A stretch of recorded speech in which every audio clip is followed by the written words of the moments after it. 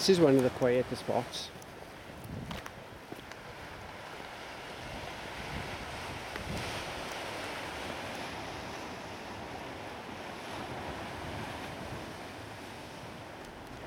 High tide tonight. Because it is